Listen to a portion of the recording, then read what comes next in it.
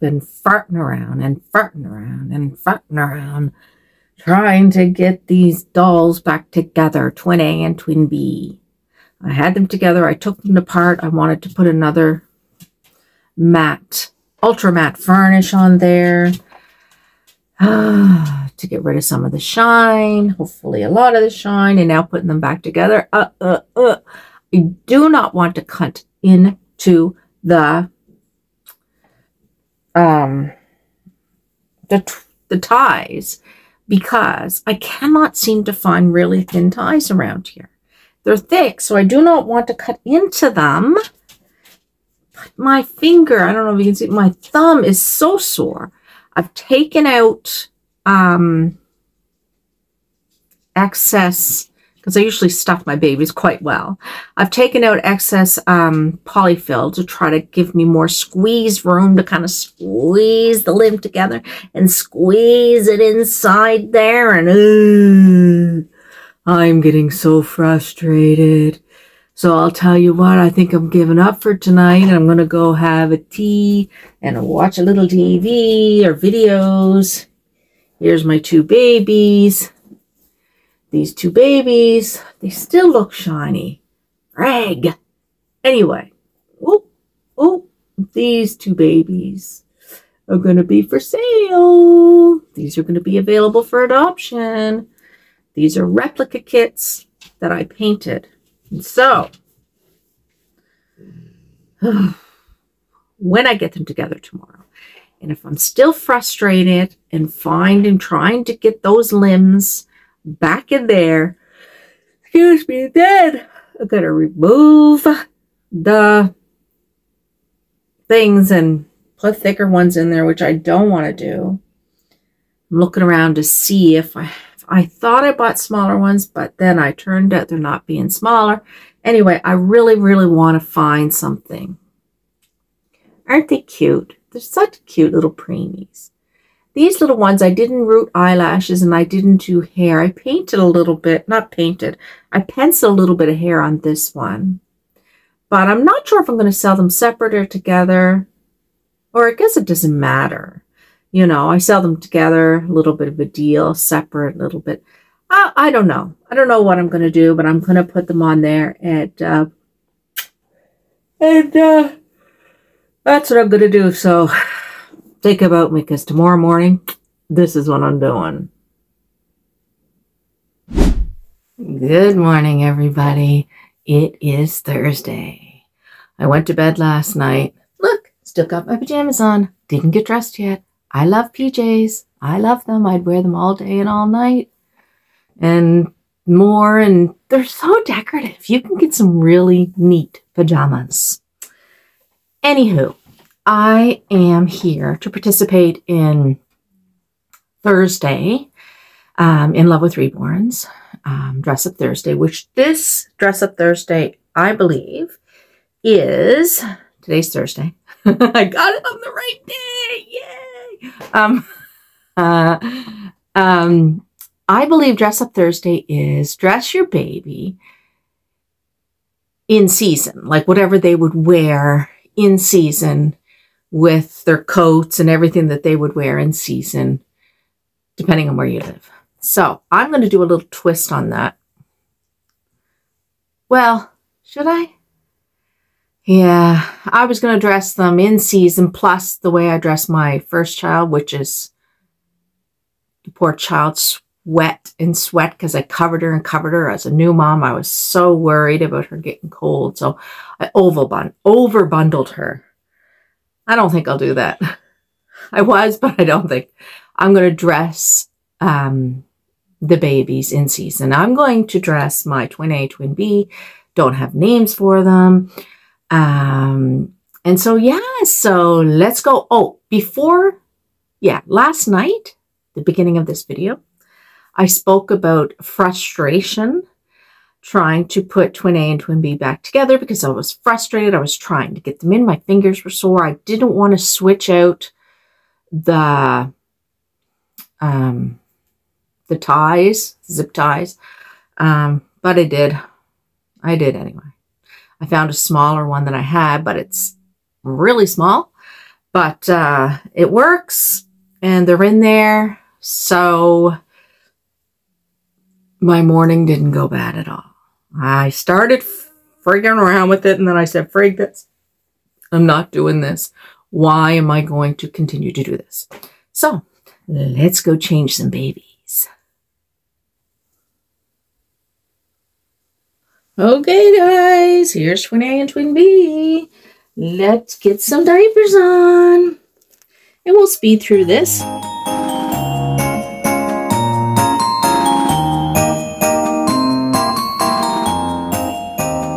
Okay, now we need some onesies. And on a really cold day, I would definitely be wearing long sleeve onesies. Most definitely. The thicker that I had, the better.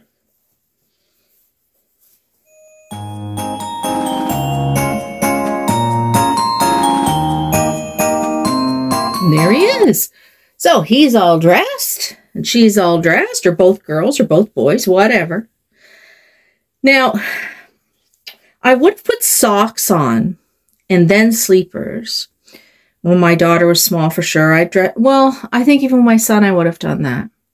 The reason why with my daughter I didn't have a vehicle, so I walked everywhere. So I always bundled her up super warm.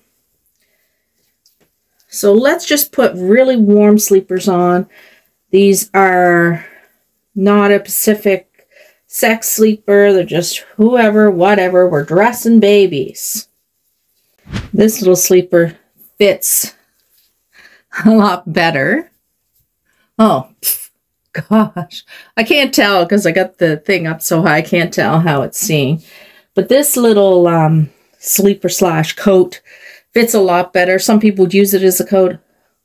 Me, myself, when the cold, when it's really cold, I would use this as a, um, as a sleeper. This one has no socks. We need some socks on this baby.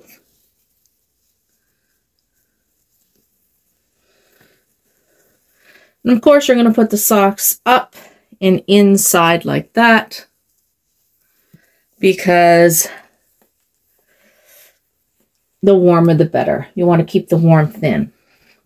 Sweater coats, super important.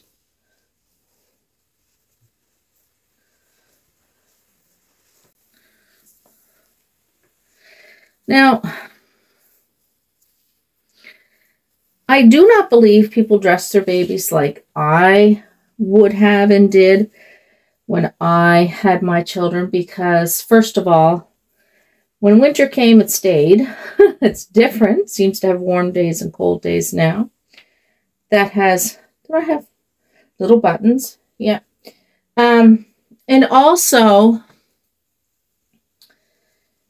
I was a really, really nervous mother, so I overdressed my children, which was probably worse for them, but I did. so where's the sweater coat for him? One second. Okay, so I'm going to put a hat her. Now, of course, these are not, this is how I would dress, but these are not the right fitting hats. this actually came with a sweater and some booties that I probably would have utilized, but I'm not this time.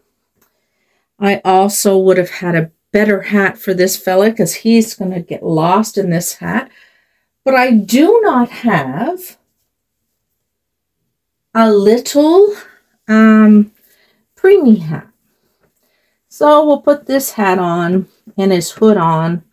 I would have dressed him something like this with a different type of hat.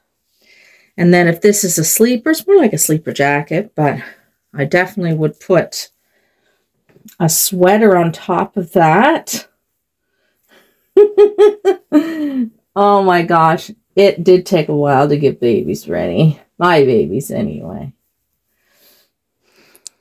I mean, I'm talking about going in a in a stroller And I had the big leg strollers in the 90s um, to push because I didn't have a car.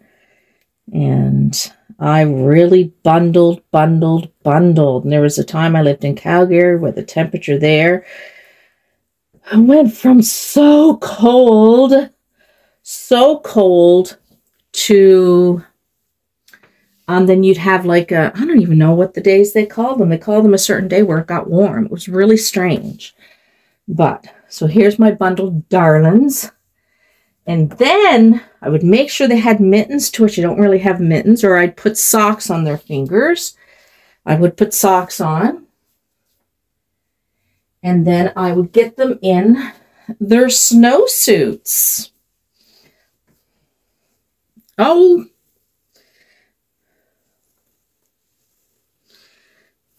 So this snowsuit lasted for a little while with my daughter. Um, because when I first had her, she just barely fit in there. Um, and even though it was big, I still put it on her. No, I would take her like this. And then I would put her in the stroller and probably put a blanket over there. A two blankets probably just drifted over the shoulder, and then I would continue to peek to make sure she was okay, and I would bundle her up just like that. My son, I had a car then, so I didn't really need to bundle him up so much. So with him, I wouldn't have probably um, I wouldn't have probably had as many layers of clothes because I had a vehicle. So it'd be just a matter of running out to the vehicle and putting them in. Now, then you could leave your babies in their car seat.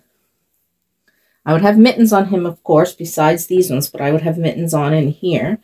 You would leave your babies in their car seats with their snowsuits on. Um, and now it's changed, but I can understand because it's so hard to get the snowsuit in there and to be so bundled up. So I can see why it wouldn't fit quite right. But definitely would have them bundled up as much as I could. There's a button there. I'm not going to do it for this video. Should be all bundled up. And uh, once again, I would have um, I wouldn't have a blanket on him, just probably going from the house, the car seat, carrying him out and buckling him in.